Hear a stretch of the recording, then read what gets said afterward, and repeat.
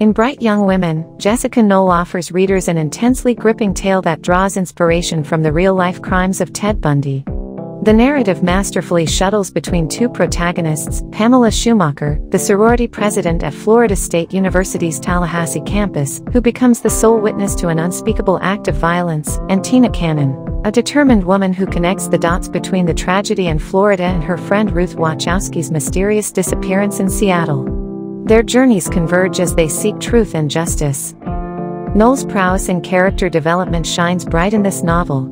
Where her previous works showcased a penchant for twisty psychological plots, Bright Young Women focuses on the depth of the characters, creating a rich tapestry of emotion, trauma, and resilience. While the story unfolds in the haunting backdrop of 1978, its themes remain poignantly relevant, especially in its portrayal of women caught in the wake of devastating events, their tenacity, and their quest for justice. An ingenious touch is the reframing of Ted Bundy's narrative. While the infamous killer was once referred to as a bright young man, Knoll redirects the spotlight onto the women, both the victims and the survivors. The decision to refer to Bundy only as the defendant underscores the book's commitment to centering the women's stories over his.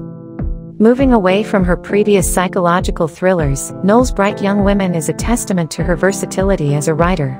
The story is both heartbreaking and empowering, reminding us of the strength of sisterhood and the unyielding spirit of women in the face of adversity. A thought-provoking, compelling read that is bound to leave a lasting impression.